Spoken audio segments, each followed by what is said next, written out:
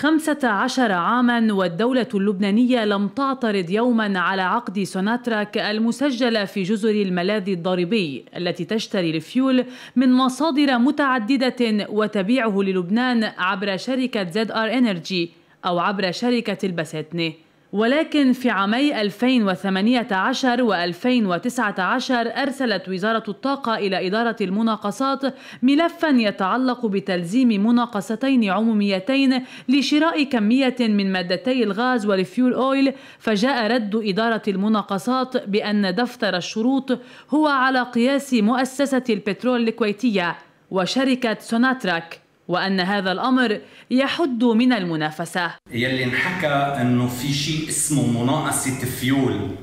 إجت على إدارة المناقصات وإدارة المناقصات ردتها لعدم توفر الاعتماد أمر غير صحيح إطلاقا. الواقع هو التالي. ب 29 10 2018 ردت إدارة المناقصات إلى الوزارة المعنية دفتر شروط كان ورد إلى إدارة المناقصات لطلب إبداء الرأي. إدارة المناقصات استعانت بخبير من الاتحاد الأوروبي ودرست دفتر الشروط وبينت الشوائب الموجودة فيه. لناحية لناحية خلق احتكارات والحد من المنافسة.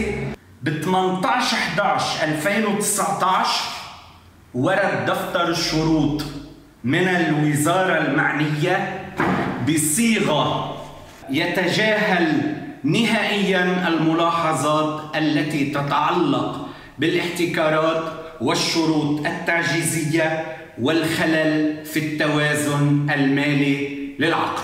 لذلك أعادت إدارة المناقصات دفتر الشروط إلى الوزارة المعنية لإجراء المقتضى لكن الوزارة لم تعد وترسل دفتر الشروط مجددا. هذه المستندات التي حصلت عليها الجديد تؤكد إصرار الدولة اللبنانية على فوز سوناتراك بمناقصة أو بدونها وبالتالي لم يبصر دفتر الشروط غير التعجيزية النور.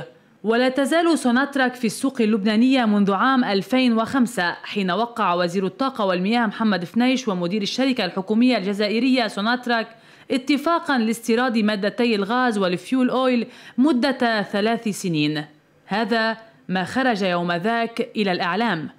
ولكن بعد فضيحة الفيول المغشوش تبين أن العقد موقع بين مؤسسة النفط سوناتراك BVI المسجلة في جزر العذراء البريطانية ووزارة الطاقة والمياه اللبنانية واللافت في متن الاتفاق.